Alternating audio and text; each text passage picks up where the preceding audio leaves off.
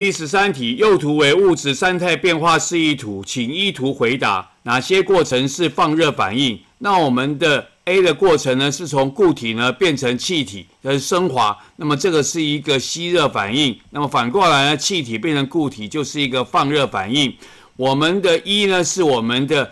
呃，液态呢变成气态，那这是一个吸热反应。那么倒过来呢，气体会变成液体，是一个凝结，所以它就是一个放热反应。